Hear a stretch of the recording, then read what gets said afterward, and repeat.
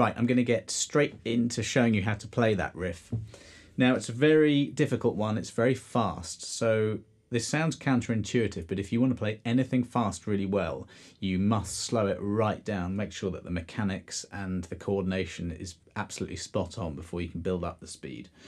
So that's what we'll do. Those are 16th note triplets, and this is kind of in C minor, so it's familiar. Familiar shape you might know there. So I'm holding the plectrum between my thumb and first fingers and using the heel of the hand there just to anchor on the E string and using the little finger to anchor. I've got to keep everything really, really steady when I'm doing this. So starting off on the 8th and 10th frets of the G string, you can download all the tab at onlinebasscourses.com and also the drum beat.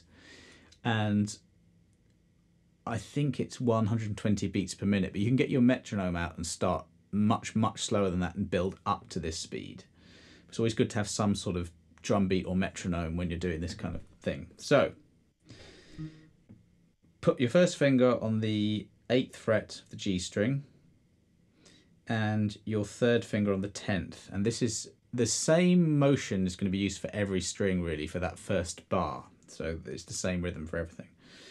So going very slow, we do a down stroke with the pick, hammer on, then an upstroke.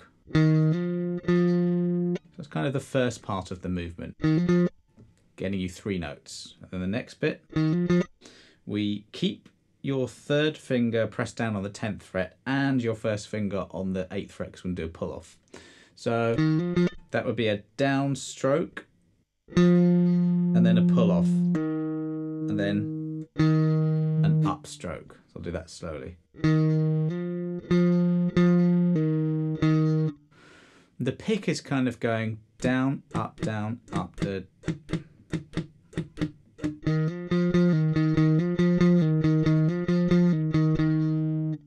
and the speed, oh well if you think about it, just doing that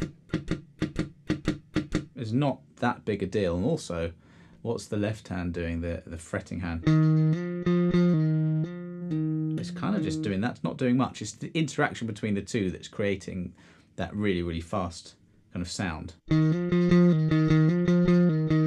So if I were you, I would just go as absolutely slow as you need to.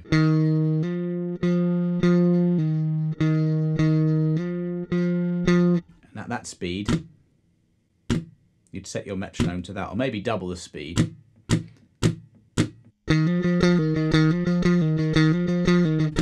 if you think about it, look at this. The plectrum is just really hitting these downstrokes quite confidently, okay, just to keep you in time. And then really it's the same thing. So I'm now moved to the D string, exactly the same frets, exactly the same pattern, movement, same on the A string.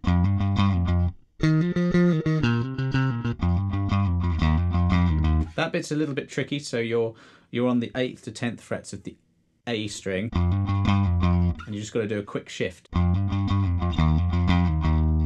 The right hand is just constantly keeping this groove, keeping in the groove, keeping in this motion.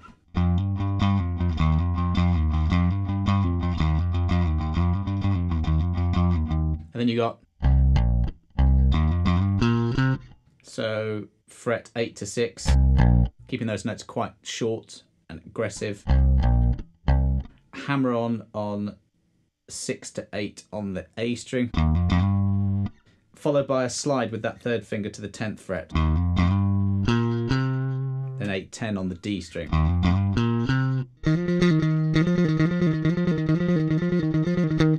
Takes a bit of time to get it up to that speed, but what I would do is just try and get that the mechanics of it just down. It's got to be in your muscle memory really.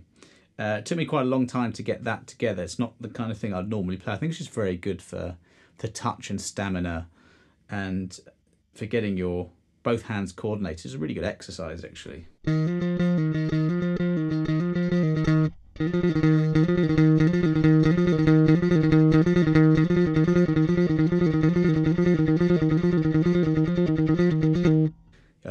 Time there at the end there, but that's what I would do to practice. I'd just try and try and get it bang in time as much as you can, playing without a metronome and then with it, just to get the the speed and the timing really, really good. Because anything that you play up to speed has got to sound absolutely bang in time. I know that sounds a bit obvious, but sometimes you can develop sloppy habits by thinking you're in time, but actually when you're playing with a drummer or a drum beat, it's a little bit out. Record yourself playing this as well, and you can analyze with with no prejudice exactly how it's sounding. So yeah, don't forget you can download the PDF of, of that of the tab just to really make sure that you've got the left hand fingering, fretting hand, and the the pick strokes exactly right. You can do that at onlinebasscourses.com and really, really take this very, very slow and then build up to playing along with that drum beat. Hope you enjoyed that quick bass line. Make sure you hit subscribe and like, and if you've got any comments, let me know. Otherwise, I'll see you guys next time.